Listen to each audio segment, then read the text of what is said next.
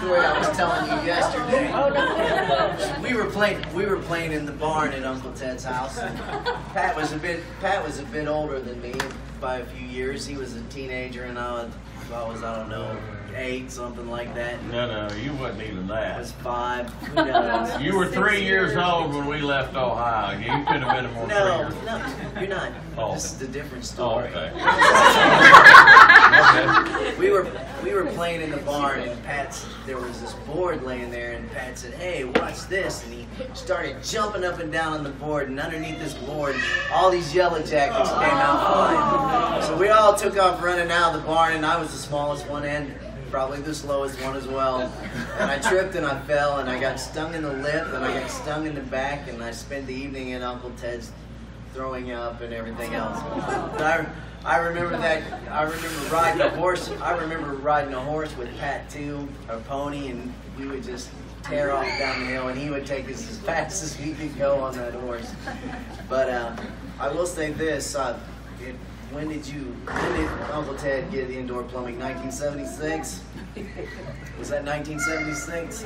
All I know, I was really relieved because I was tired of the horseflies biting me in the outhouse. we always. Another thing was um, Uncle Ted. He always kind of took care of us when we were there. They had a rooster, and he would always make a beeline to me, mm. and I would just stand there and I would just yell for Uncle Ted. And I, I truly believe that Uncle Ted could have been a field goal kicker with the NFL.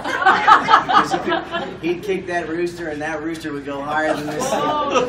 As soon as that rooster hit the ground, he would come straight running at me. And it took Uncle Ted maybe three or four kicks, but he finally could get it to stop.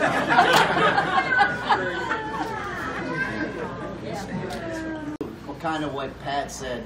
You know, my father, Dick Sallee, Ted's brother's been gone for quite some time now, but I think you all know he was a he was a load of fun to be around. Um, played a lot of ball with us.